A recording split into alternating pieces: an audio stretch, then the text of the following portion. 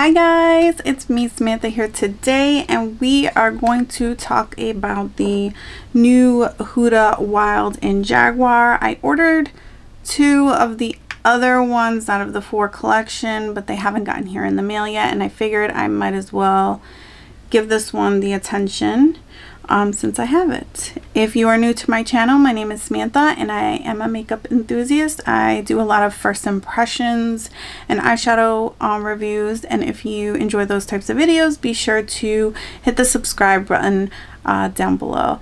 So yeah, I just wanted to kind of get into it. This is the kind of like purpley, um, smoky of the four palettes and I really, really wanted this one. And I got the two colorful ones. The ones that I refrained from, I think was like a lion or tiger. It was very yellow.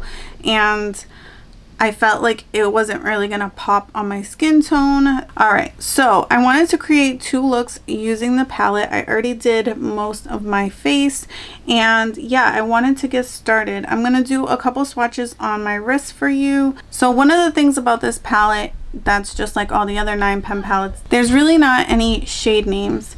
Um, so I'm just gonna go by how they are on the pan. So this is kind of like the beigey color and I'm gonna swatch that. I did not put any primer or anything on my, you know, arm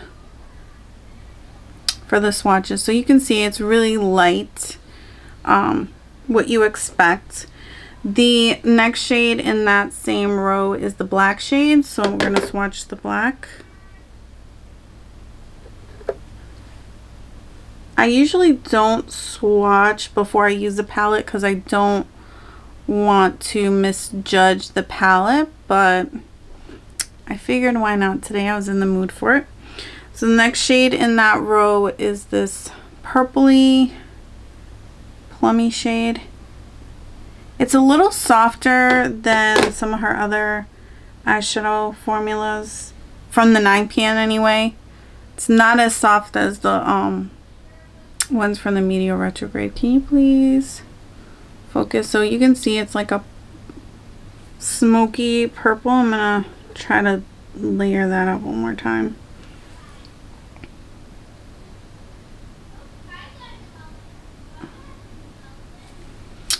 And we're gonna get into the next row. We're gonna swatch this shade here. Kind of looks like plummy but brown at the same time. I think that's quite accurate too. There you go. Then the middle shade which has that really cool imprint in there very like a lilac. This is kind of a toppery shade because it has a lot of glitter. Not very good at swatches. Then we have this like marbled effect shade here. It has like um looks like pewter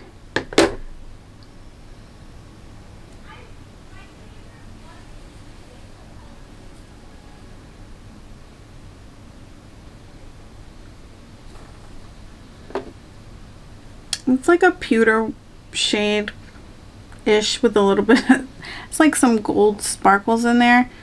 We're to go into this silvery shade right here.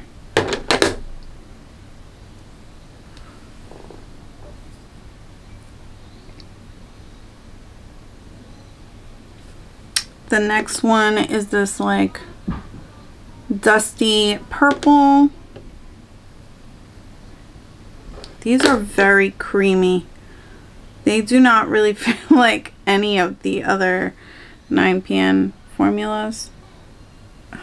I'm so bad at this. So that's what that one looks like. And then we have one more and it's the gold color. I don't use golds that much. So, you know, usually yellow palettes always have like a gold and I'm just not intrigued by that. I'm going to actually just swatch it up here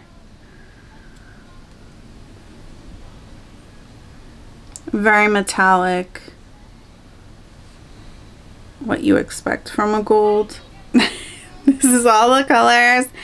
So yeah, let's get using this.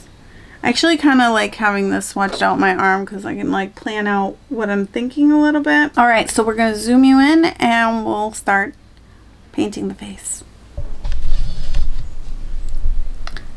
Alright guys, I prime my eyes with my Milani eye primer.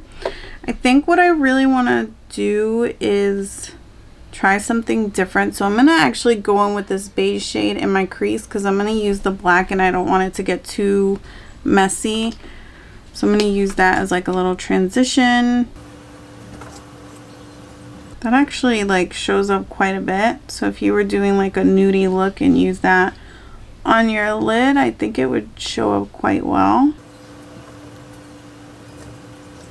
Alright, I'm going to take this pointed, like a very small pointed brush. This is the Morphe M507 and go in with the black. Hopefully I don't mess this up. I'm going to try to yeah, swipe it up and then go like this. This is kind of what I do when I want to give myself kind of a cat eye-ish shape because my eyes are very downturned. Not very, I mean, I've, there's people with way more downturned eyes, but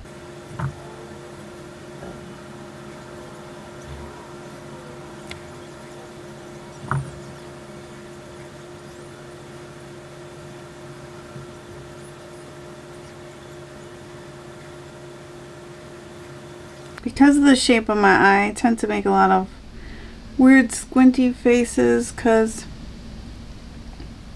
I don't want to pull on my skin. Alright, I think that looks pretty good. I'm surprised I didn't mess it up yet.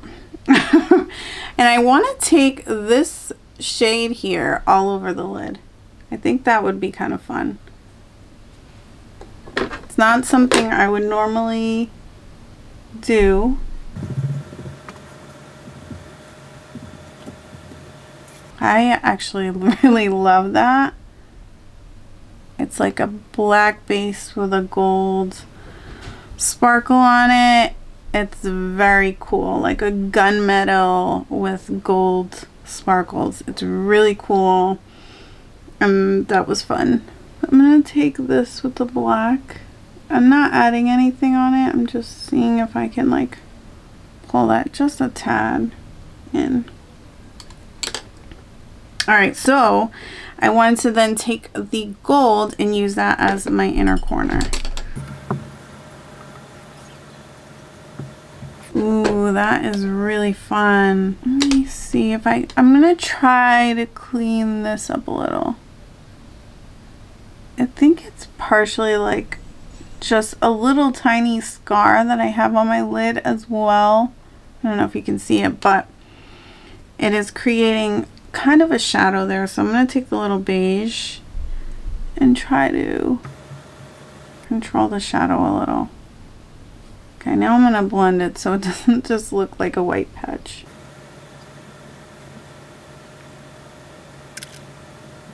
Okay, very cool. That looks spicy. All right, so let's do the other side and then we'll put on like mascara and stuff. I'm really excited about um, playing with this palette. It It's really cool. All right, and the shadows are just working so nicely. Like I'm really enjoying that. Um, so for the other eye, I want to go in with this dusty purple and then this plummy shade here. This formula is so good. So good. I'm going to move my mirror over here. Make it a little easier on myself.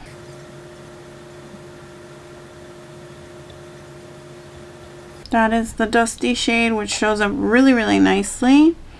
I'm going to take this M506, which is a little bit more rounded than that pointed one, and go into the plummy shade. And I'm gonna have this side be less pointy and more rounded.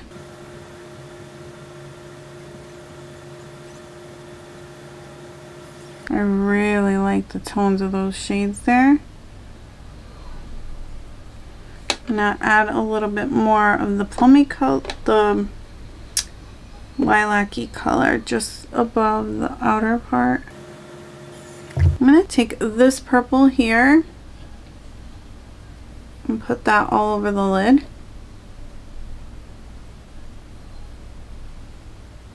It's a little drier so it doesn't go on nice and smooth like the last shade.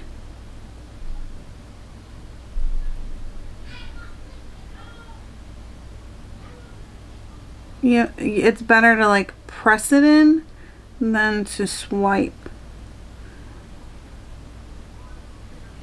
And then I'm going to take that center shade, the lighter one, and put that just over the center to make it pop.